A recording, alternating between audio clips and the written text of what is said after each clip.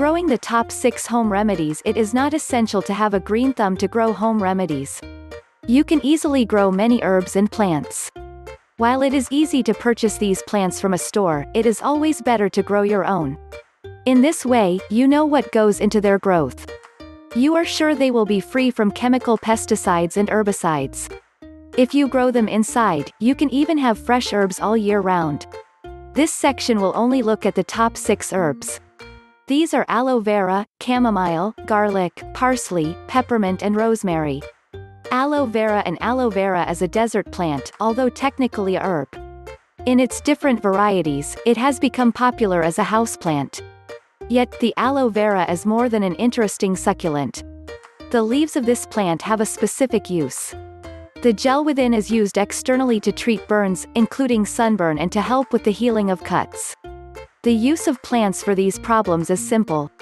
Break a leaf of the plant off and squeeze the gel form the segment onto the wound or burn. The gel dries on the wound, sore or burn creating a barrier against bacteria. Use the gel liberally without any side effects. Growing the plant is rarely a problem. Purchase a small plant. Transplant it into a larger pot, perhaps a window planter during the summer or a larger pot during the winter. Make sure it receives full sun and the temperatures remain above 40 F. Aloe vera is a succulent after all and enjoys the warmth and the sunlight. As the plant grows, it will add more leaves. Small, baby plants will appear. You can remove these when they have strong enough roots, plant them and have more aloe plants. Alternatively, you can let them hang together. Whatever your decision, the result will be large enough and plentiful enough plants to use in instances of cuts and burns. Chamomile Chamomile is a plant with anti-inflammatory and soothing properties. Usually ingested as a tea, chamomile has the ability to relax the drinker, soothing away any anxiety and stress. This member of the Compositae family is also great for helping you shake off insomnia and ease into sleep. The most popular genus of chamomile is German chamomile A. Matricaria. This is an annual plant requiring replanting every year. In spring, scatter the seeds in beds of moist, but well-drained soil. Make sure the planting plots lie in a partially shaded area. You may want to clip a couple of times during the summer. You also need to watch out for weeds. If you prefer to avoid annual planting, you can opt to plant perennial varieties e.g. Anthemis nobilis. Unlike the German chamomile, these do not grow as tall. They creep along the ground. If you like the plant wilder and stronger, there is a form known as mayweed or stinking chamomile. All forms of chamomile are best served as a tea. Snip the stems and hang them to dry. You can then use immediately, storing any excess in dark, sealed containers for later use.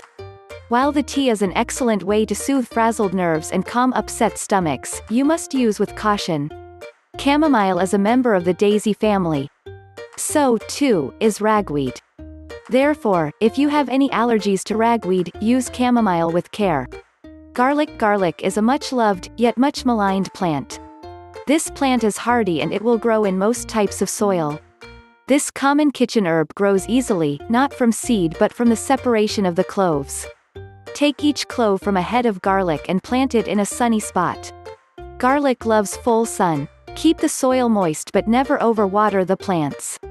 When the flower stalk appears in early summer, cut it back. You need the energy to go to the bulb beneath the soil. Harvest the plant in late summer to achieve the most benefits possible. Clean the plants off and store them. Garlic is an antibiotic known since at least the time of the Egyptian pharaohs. It acts to fight off colds, stimulate digestion and is also good for whooping cough and asthma. Some tout garlic as having the ability to reduce high blood pressure and decrease cholesterol levels. You can eat the cloves raw or add to recipes. Some herbalists believe cooking decreases the powers of garlic. While some encourage the eating of a clove or two a day during cold season, never ingest more than 10 raw cloves daily. This could produce an allergic reaction or a toxic one. If you are breastfeeding, do not use. To do so could result in your baby having colic. Parsley Parsley is a common and popular biennial garden herb. Many use it as a garnish rather than for its medicinal properties. You can grow parsley indoors or outdoors. It is happy in a window box or a pot. In fact, parsley is a pot herb. You will need a deep pot, though. Parsley has a taproot and can grow quite tall. It depends upon the variety. It is frequently part of herb garden kits for indoor gardens. You can purchase parsley in seed form for spring planting. Try a seed tray or a plug tray indoors or, ideally, in a greenhouse, if you want to get an early start on the planting season. You can also opt for established seedlings from a nursery. Plant the seeds or seedlings in full sun or partial shade. Water, weed and wait 12 to 14 weeks until the plant is established. You can then begin to pluck or cut the leaves close to the base of the plant. This will encourage further growth and an ongoing supply of parsley. Parsley is rich in vitamin B and potassium. It is a good diuretic and helps alleviate gallbladder problems, including gallstones. Parsley has been chewed for centuries to help with bad breath and eating a few sprigs may also decrease your body odor. You can eat the roots, seeds and leaves. The leaves are the most popular part of the plant.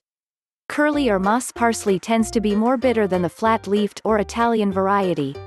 Do not ingest if you are pregnant. You are also to avoid large amounts if you have kidney disease as it may increase the flow of urine. Peppermint This common garden herb provides the basis for a popular and soothing tea. Both the leaves and the stem of peppermint Mentha piperita are excellent sources of healing powers. It is one of the easiest plants to grow but very difficult to control. Peppermint, or any type of mint for that matter, quickly plots to take over a garden plot. You need to be vigilant and heartless in cutting back and rooting out any excursions beyond the specified boundaries. You need a site that is in full or partial sun. The best soil is one that is rich and drains well. Loam is best as it will retain water during the summer. Peppermint will quickly cease hold under these conditions and you will have trouble stopping it from invading all corners of your garden. When the plants are bountiful and display many leaves, do not be shy. Pick them off and use fresh. You can also dry them for later use. Make the leaves into a tea or in alcoholic or other refreshing drinks. Crush the leaves to release the soothing scent into the air. Chew on a leaf to freshen your breath. There are many different uses for peppermint. Peppermint is a versatile herb. It has long been popular as a means to ease digestive woes. A tea of the leaves helps the stomach and the mind relax releases gas and helps with such things as diarrhea, indigestion and menstrual cramps. Drinking a tea or releasing the scent may also act as a decongestant, reducing nasal inflammations. Some believe peppermint can decrease instances of bronchial restriction and headaches. Peppermint oil is effective in clearing up headaches. Preliminary research indicates this to be factual. You can also rub the oil on sore muscles. The oil has also acted as to numb sore teeth. In all instances, however, do not apply the oil without diluting it.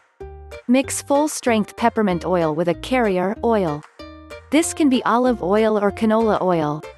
It will decrease the harm factor but not negate the benefits. Peppermint is truly an all-purpose plant. If you look at the commercial use, even synthesized, you will have some idea of the power of peppermint. You find it as a flavor for gum and other candies. It is used in mouthwashes, toothpastes and other oral hygiene products. Peppermint is a handy herb to have around. Yet, there are precautions regarding its usage. Do not ingest the oil or essence. Pure peppermint oil may actually cause and not prevent indigestion and other stomach and digestive tract problems. In some instances, its relaxation of the sphincter muscle may increase problems of acid reflux and heartburn. Rosemary Rosemary Rosmarinus officinalis is another popular kitchen herb. It is a spice and a medicine. Rosemary can aid you in your fight against bacteria, help you digest your food and even act to stimulate your thinking abilities. A perennial, rosemary is a plant you can grow from scratch or purchase complete. If you decide to buy a potted rosemary, be sure it is free from any chemicals. Unlike the other herbs mentioned, rosemary is a bushy plant. It prefers a well-drained, dry soil. It also likes the soil to be gritty, sandy, permitting the roots to breathe. You can grow more rosemary plants from taking cuttings off the bush. Use only flowerless stems. Place the cuttings in a moist, sandy and shady place.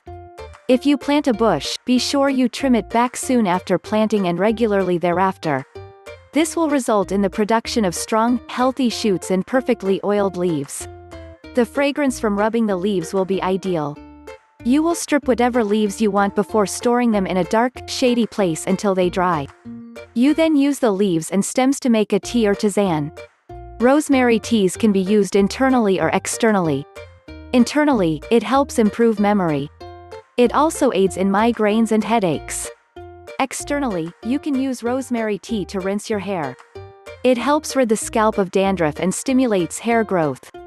While there are no known external problems, there are internal issues. Drinking too much rosemary tea may increase menstrual bleeding. Moreover, it is not to be taken during pregnancy. Conclusion There are many popular herbs you can grow inside and or outside. Each of them requires specific nutritional needs. Talk to a gardening expert to ensure you are supplying the right type of nutrients and conditions. This will allow the plant to achieve its maximum potential. Be sure you also know the exact variety of plant. Talk to an herbalist and or gardener to ensure the plant you are picking is the one you need. At the same time, discuss with a herbalist or cam doctor about the uses of the plant. Do your research on gardening, but do not neglect the other significant aspects. These include storage and preparation. Know ahead of time and completely understand the parts you will need to harvest. Make sure you follow storage methods correctly. Improper storage can result in the growth of mold and mildew on your plants. It can also decrease the medicinal benefits of the plants.